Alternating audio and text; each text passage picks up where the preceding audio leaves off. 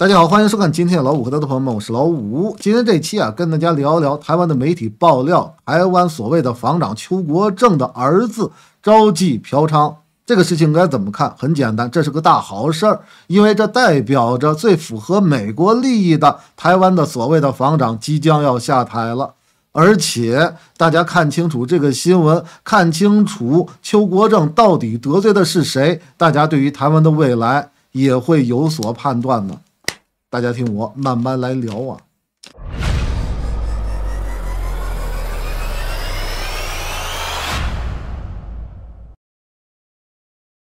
首先啊，跟大家聊一下啊，邱国正到底得罪了谁？大家看清楚了，邱国正到底得罪了谁？大家也就知道台湾的那个未来。大家其实也就能够看清楚，为什么我跟大家讲，邱国正是最符合美国利益的一任台湾的所谓的防长啊。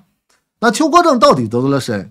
那邱国正到底犯了什么样的一个事儿，对不对？得罪了别人，然后的话，邱国正身上最大的争议啊，大家就要看到三月七号、三月八号这两天台湾到底发生了哪些新闻。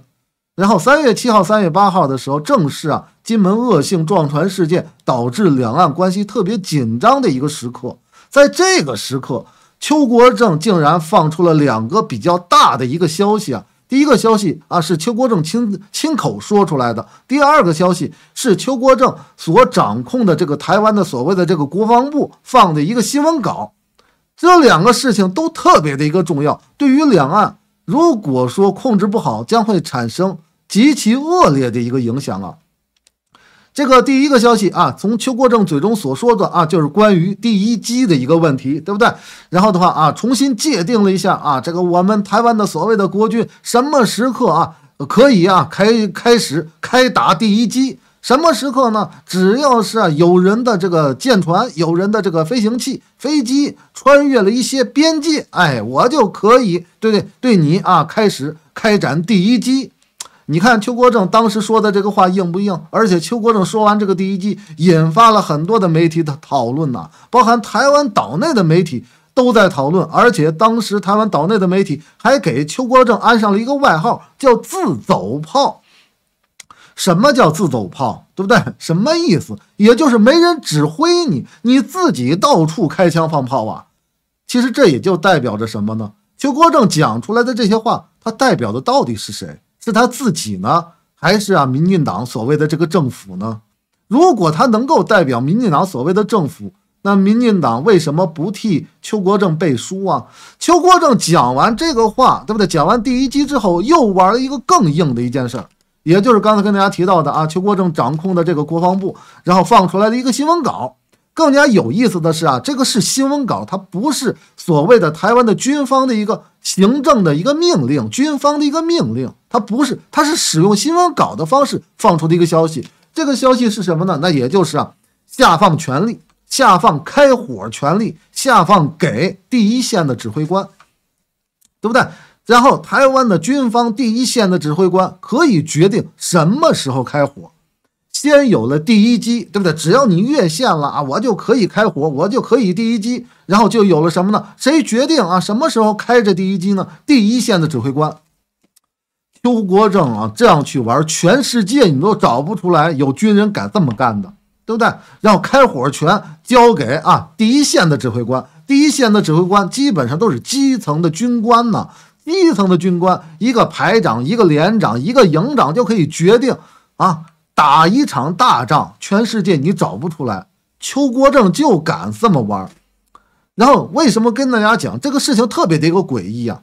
如果你说这是啊所谓的民进党政府要跟大陆拼了，要跟大陆死磕，按照常理而言，他应该改变一些啊，比如说啊这个台湾军方的一些命令啊，一些一些新的指示啊，放到这个所谓的台湾的军方的作战手册里边去。结果呢？然后的话是邱国正用嘴说出来的，对不对？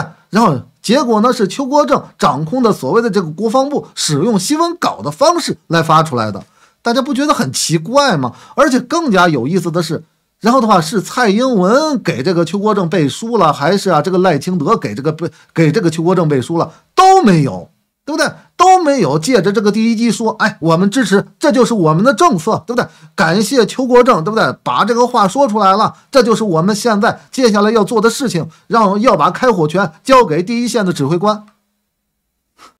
你看看蔡英文跟邱跟赖清德哪一个出来说了？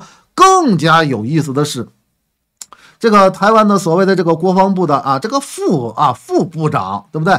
出来解释了，对不对啊？关于这个第一击越线的这个问题啊，然后的话，人家出来解释什么呢？啊，这个越线了之后，我们也得判断判断什么呢？啊，假如他要投诚呢，对不对？对岸的这个飞机飞过来，他有投诚，我们能开火吗？不能开火。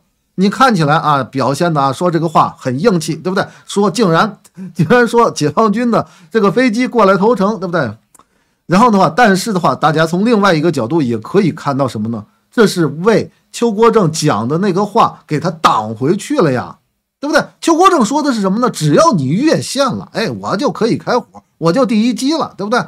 然后呢，结果呢，哎，副部长出来说啊，不不见得开火，没准人家来投降。大家明白这话里的意思了吧？其实更加有意思的是三月八号这一天，三月八号这一天啊，这个台湾的所谓的这个行政院的院长陈。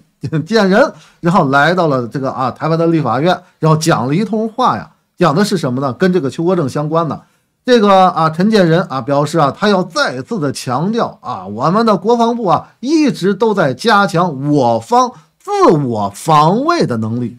哎，大家品一品这句话什么意思？自我防卫，谁让你进攻了？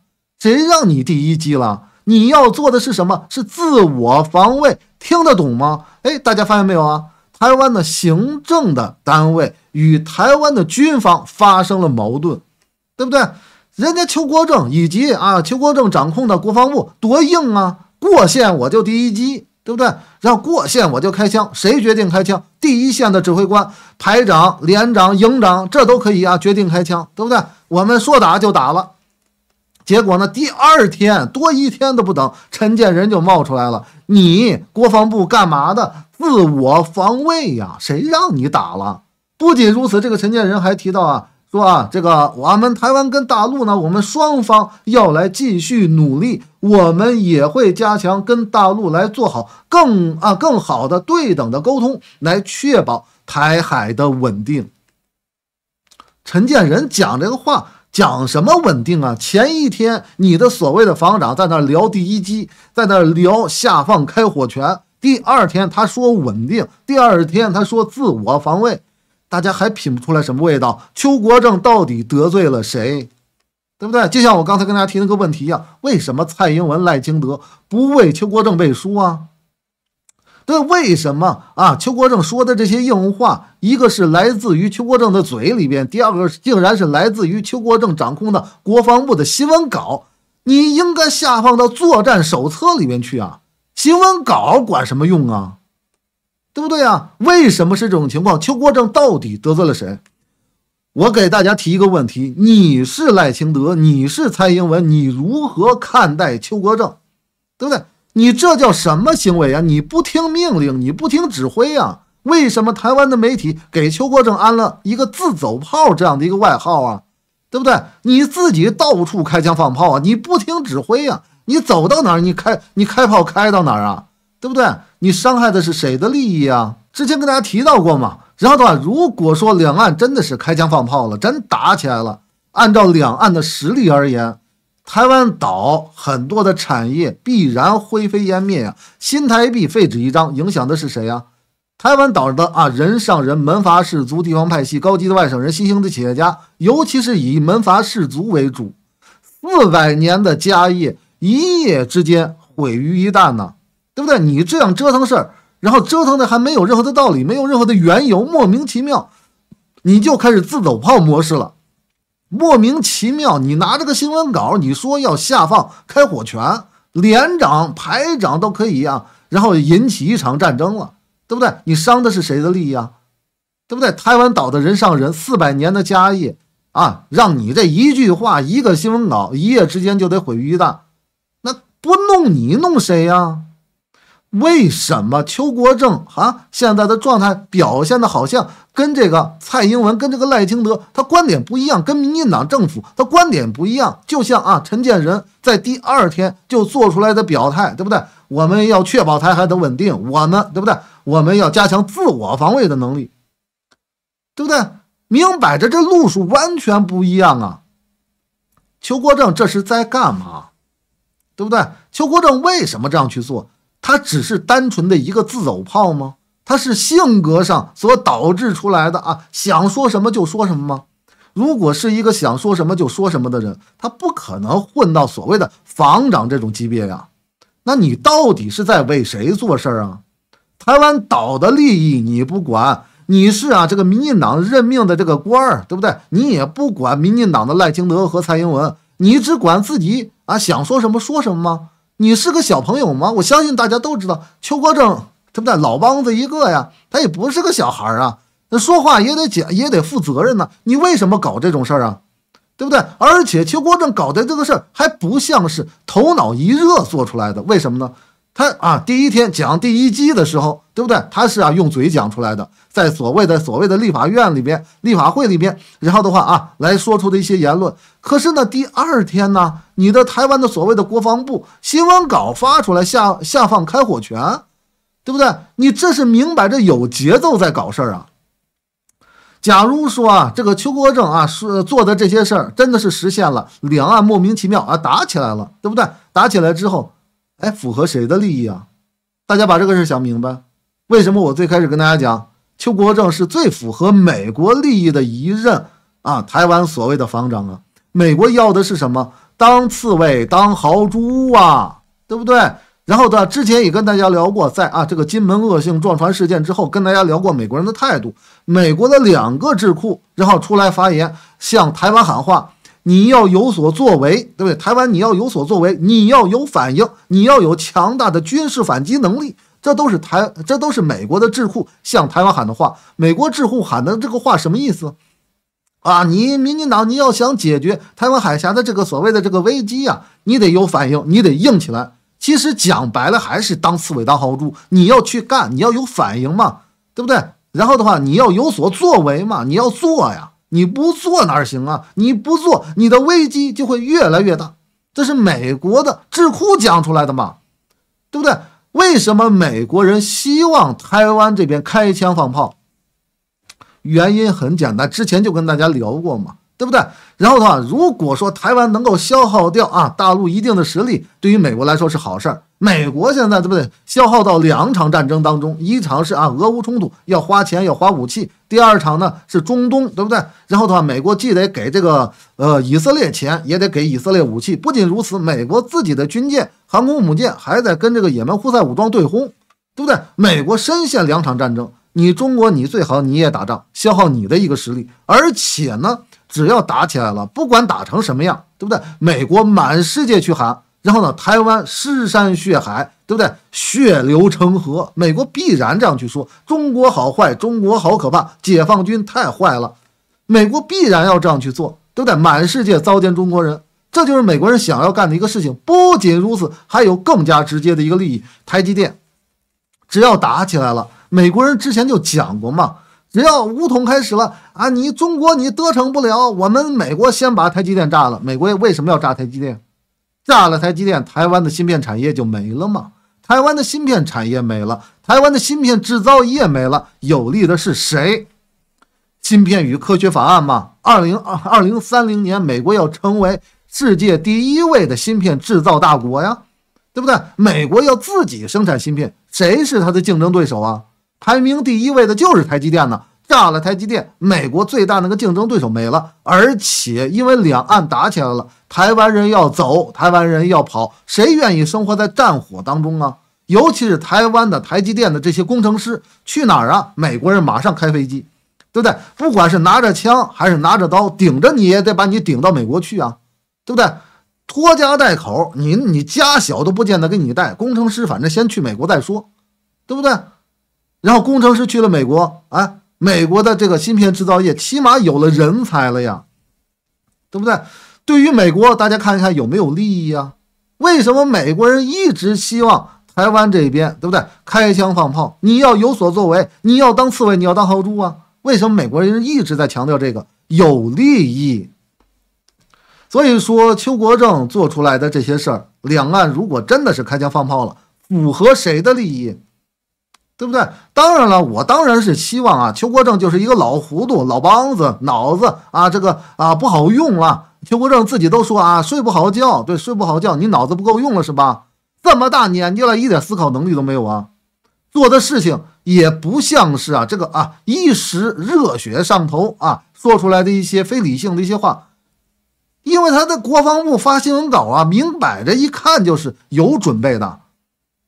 你邱国正做的全是符合美国利益的事情，邱国正到底是一个什么样的人？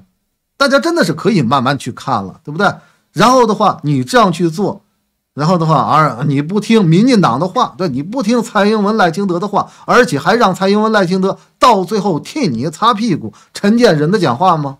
对不对？替你啊，替你这个邱国正擦屁股，那你得罪谁了？你邱国正得罪谁了？你得罪的是民进党啊，对不对？邱国正的儿子招妓嫖娼这个事儿出现的时间点以及出现的状态都特别的怪。据台湾的媒体爆料啊，邱国正儿子招妓嫖娼的啊这个照片啊，还有手写的一些东西啊，还有啊录像啊，对不对？还有自拍，拿着所谓的鉴宝卡在那自拍呀，就这些资料特别的一个周全，特别的一个齐全。它不像是啊，忽然之间谁得到了某一段啊视频，某几张照片啊。发给这个媒体去爆料，然后他特别像准备的特别好的一些黑材料，对不对啊？证明身份的有啊，邱国正儿子端着自己的所谓的鉴宝卡啊，自拍的一张照片，对不对？照片也有啊，这个办坏事的时候 照片也有，办坏事办坏事的时候录像也有，录影也有，对不对？然后全部都发给台湾的媒体，台湾的媒体给他爆出来，对不对？特别的周全。一眼看过去就知道有人要搞邱国正啊，谁要搞啊？对不对？你伤了谁的利益啊？两岸真的开枪放炮，台湾岛上的人上人的四百年的家业一夜之间毁于一旦。你要毁别人的四百年的家业，那别人别人给你爆个料，那都是发善心，对不对？还给你留着一条人命呢，对不对？你毁人家四百年的家业，多少代人呢？对不对？这台湾的这些大家的氏族，那一个大家族多少个人口啊？对不对？你这一件事搞出去，人家这一家子啊，一家子人的命就得啊，就得陷入到战争当中，对不对？凭什么呀？人家给你留着这条命啊，都算是人家真的是佛心来的慈悲心。讲到邱国正到底得罪了谁？讲到邱国正为什么是最符合美国利益的一任台湾所谓的防长？然后咱们再看台湾的未来。对不对？大家也就清楚台湾的未来即将要往哪个方向去走。包含今天跟大家聊了一个啊新闻，那就是啊美国的副国务卿啊这个坎贝尔与中国的这个副外交部部长这个啊马朝旭啊，然后通话，通话了之后呢啊不欢而散嘛。从双方的啊这个美国的这个国务院的发言人的讲话讲这个事情，以及中国外交部的啊这个新闻的通稿一对比一看，双方没有任何的共同之处啊。然后呢？一眼看过去就知道，对不对？不欢而散，出现了这样的一个结果。为什么？因为里边提到了台湾海峡的和平稳定。因为中国没有必要跟你美国谈所谓的台湾海峡和平稳定啊，跟你美国无关。你美国少跟我在这废话。但是我跟大家讲了，美国啊，尤其是美国的这个副国务卿坎贝尔为什么这样去玩？因为，因为这个人本身是一个鹰派，外号亚洲沙皇。对不对？他必然要采取一些啊，最好的防守是进攻的一些动作，要主动挑衅中国大陆。那挑衅中国大陆，中国会让他挑衅吗？从这双方的通话，大家也可也可以得出那个结论：中国理都不会理你，对不对？你爱怎么折腾怎么折腾，有本事真刀真枪亮一亮。结果呢，美国也不敢真刀真枪，他连台湾问题这四个字都不敢提，连台湾两个字都不敢提，他仅仅敢提的就是台湾海峡、台海这几个字。台海要和平稳定，为什么呢？为什么不敢提台湾？因为提台湾问题就直接带来的是中国主权的问题。你美国碰中国主权，碰的是中国核心利益中的核心，而且你美国的一中政策，你还遵不遵守？你不遵守是吧？那我中国想要怎么跟你折腾就怎么跟你折腾喽。因为你碰我的主权，你伤害我的主权呢，你伤害我领土的完整啊。但是大家也就可以看到美国人那种既想挑事儿，但是又是小心翼翼的那种状态。所以说呢，他面对中国很强硬的一种姿态，对不对？然后他没有任何的办法，占不着便宜，他怎么办？他必然会对民进党进行啊进行施压，对不对？他必然要借着台湾问题要搞事情，要挑一些小事端，然后最好能够让两岸发生一些什么问题，从而能够让美国的利益得到满足吗？对不对？接下来台湾将要如何选择？其实从邱国正这个事儿，大家也可以看到，民进党会完全的听美国人的话吗？对不对？最符最符合美国利益的一个啊，一任台湾的所谓的防长，现在看起来要被搞下去了，对不对？然后的话，你美国要搞事情，你还能靠谁搞呢？对不对？你美国要搞事情，你伤害了台湾的人上人的利益，四百年的家业，对不对？你伤害了这些人的四百年的家业。那你美国就会是什么？你美国就会是那个敌人呢？为什么民进党一直在保台积电？为什么民进党一直在宣传一纳米、两纳米要在台湾生产？包含最近在宣传，拼命的宣传，对不对？台湾要发展 AI 的产业，对不对？我们要在 AI 做大做强，再创辉煌。为什么要说这个话？其实就是为了保台湾岛的利益嘛，对不对？台湾台湾最后的一个好产业——芯片制造业，如果被你美国人弄走，对不对？其实就跟让台湾的这些大家族一夜之间，他的家产、他的家业一夜之间毁于一旦，没有多大的一个区别。台湾要损失最后的一个最大的一个好产业，新台币就就变废纸一张了。台湾还有什么呀？啊，种种种点水果啊，打点鱼，搞这些产业吗？这些产业值几个钱呢？芯片制造业值钱呢？被美国人弄走的话，大家都没活路啊。所以说，民进党一直在顶着美国人的压力啊，然后包括啊，美国人一直在喊话，你台湾要当刺猬，要当豪猪，对不对？为什么民进党到现在为止也没当刺猬，也没当豪猪啊？尤其是啊，很重要的啊，这个蔡英文啊，关于啊两岸的一个政策，尤其是军事方面这个政策，两个词啊，备战不求战，应战不避战，对不对？这这两句话吧，这两句话大家看清楚了吗？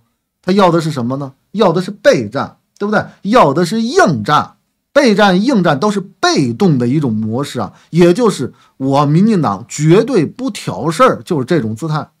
那如果台湾岛民进党不当刺猬、不当豪猪，那美国的利益如何得到那个满足啊？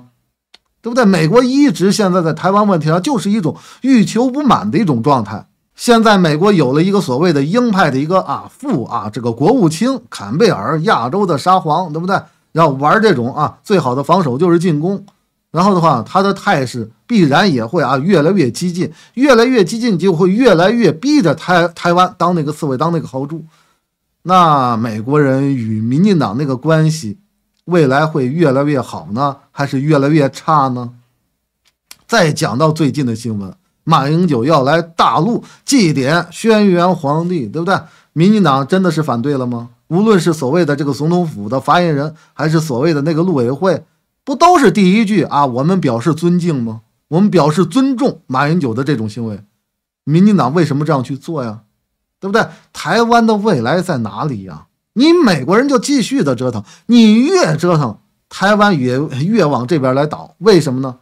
靠着你美国人，你美国人把台湾是吃干抹净啊？为什么呢？芯片与科技法案呢？美国人越依赖美国人，美国人就会越啊，对于台湾有所需求。你依赖我美国是吧？那你把台积电拿过来，对不对？你把台湾的芯片制造业拿过来，因为你对于我美国有需求啊。那怎么办呢？对于台湾，对于民进党而言，对不对？那只好往大陆这边躲一躲。为什么要往大陆这边躲一躲？大陆也不好得罪呀，将近百分之四十的进出口依赖整个大陆的市场啊，对不对？然后的话，那你这大陆如果生气了，贸易壁垒审查一来，你 台湾的这个经济也强不到哪儿去啊！这才是台湾现在面临的一个问题啊！那怎么办呢？最简单那个解法嘛，两害相权取其轻，两利相权取其重嘛。谁利益更大一点呢？对不对？谁的这个危害更大一点呢？对不对？更小一点呢？这一点大家如果看清楚了，大家也就知道台湾往哪个方向去走啊。哪边的利益更大？一边是要台湾的产业，要台积电，越往这边躲，越往美国靠近，美国越要台湾的产业，对不对？然后越往大陆这边来躲，跟大陆保持良好的关系，台湾的经济，哎，会往上去走哟。对不对？毕竟，然后对于大陆的这个市场的依赖是不将近百分之四十，对不对呀？啊，往跟谁好关，呃，跟谁好利益大，对不对？得罪啊，或者说啊，得罪谁啊？那更严重一点呢？得罪美国人，美国人只敢有小动作呀。美国人敢公开的在那儿说啊，我要借着台湾问题，我跟你打仗吗？台湾一定得去打。美国人现在敢这么去说吗？又不敢。你就看坎贝尔跟这个马昭旭的这个这个通话呀，就明白了。他最多也就是提台湾海峡和平稳定，连台湾问题这四个字都不敢提呀，对不对？他也只敢搞这个啊，这个暗面的。呃，私底下的就这种小动作，公开的与大陆对着来，美国都不敢，对不对？谁更可怕一点？对于台湾岛而言，美国跟大陆谁更可怕一点？得罪大陆是吧？大陆连无人机，连零五五、零五二，对不对？这个航母啊，歼二十这些都不用，远程火箭炮就把这个台湾岛覆盖了，谁更可怕一点？对不对啊？台湾未来往哪个方向去发展？从邱国正儿子招妓嫖娼这个新闻。大家都可以看得出来，讲到这儿的时候，有些同学可能会啊质疑啊啊，照你老五所说，民进党难不成通了共了吗？天下他何人不通共啊？好玩当然可以这么讲，但是大家记住，哎，两害相权取其轻啊，两利相权取其重啊，谁对他的利益更加的重要呢？谁更加可怕一点呢？大家把这个事情想明白，大家就会得到那个结论呢。台湾的未来在哪里呢？等着看吧。好吧，今天这期啊就聊到这儿了，感谢各位啊。